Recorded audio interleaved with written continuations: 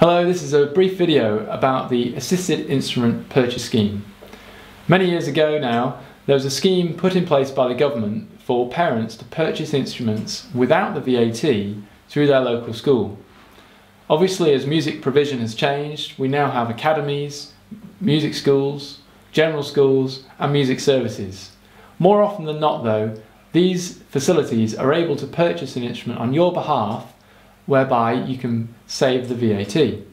Obviously, these days that can amount to quite a lot of money, and it helps you look at maybe a different range of instruments or make sure you can buy a new instrument, for example.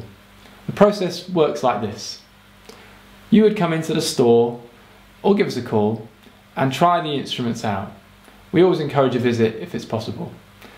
You would then find the instrument that you like and we would reserve it for you we would give you the serial number of that particular instrument so your visit has been worthwhile and you take away an easy to fill out form that you can then pass on to your purchaser, be that the school or the music service.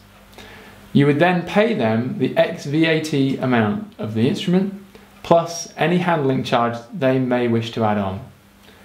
The instrument would still be on reserve with us and we await the official order from the purchasing school or music service. When we receive the order, we process it and we dispatch it with our couriers anywhere in the UK to your school or music service and you collect it from them.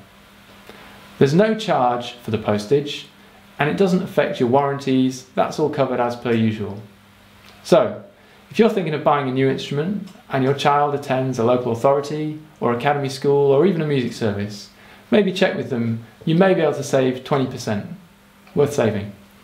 Thanks very much for watching. If you have any questions at all, please give us a call or drop us an email. Thank you.